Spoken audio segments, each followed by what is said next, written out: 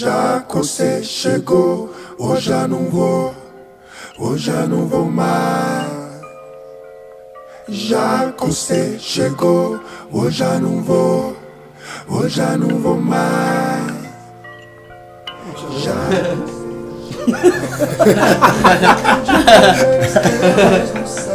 Não é? Mas Você essa- fala que tem uma coisa no ar- seu afeto familiar, É. assim, muito. Essa foi uma música que, por incrível que pareça, foi talvez a mais difícil, né? Olha que loucura, cara. Pô, Essa talvez mais ainda, mais do que a do que a primeira música lá, Silêncio que é o. Silêncio Interior. Essa foi mais difícil, porque o Silêncio Interior, ela, o que foi difícil foi assim, foi é, a gente fazia alguma coisa, não, não é isso, gravava uma voz, não, não é isso, é outro. O beat, tal coisa. E a gente tava pensando no muito.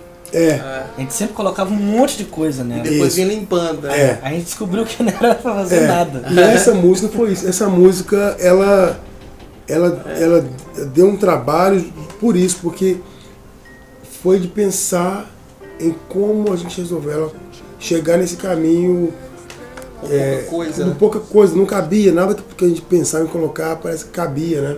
Por um momento eu pensei, cara, vamos deixar assim, como Piano tá. voz. É. Só que aí a gente foi sentindo a vontade de, de- de dividir mais a música pra gente poder estar junto.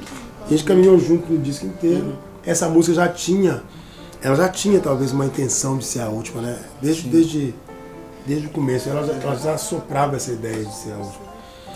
Porque é uma música que veio de um lugar afetivo. Ela era uma música, ela é a mais velha de todas. Uhum. Porque essa música eu fiz é, quando meus filhos, eram, meus filhos eram pequenos, eu cantava para eles dormir.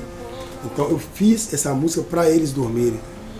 E é muito bom para nós essa música ser a última, porque ela termina. E aquele jardim que era o nosso sertão, ser tão feliz. Pois então. Puxando um pouquinho para esse lugar mesmo da felicidade, que eu acho que a gente está esquecendo desse lugar.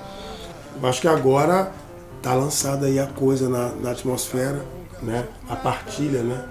Tá lançada e, e a gente tá aí para viver esse momento, né? Eu acho que é sem culpa, sem, sem muita sem muita como é que é aquela palavra, cara? Sem muita ansiedade, né? E, e Expectativa. sem muita expectativa.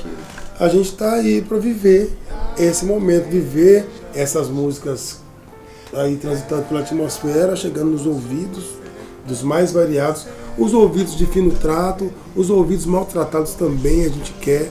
A gente quer todo mundo, né? A gente, os, os corações felizes, os tristes, eu acho que a gente quer que essa música possa transitar aí para todo mundo e, e seja o que a música quiser, né? Pois então,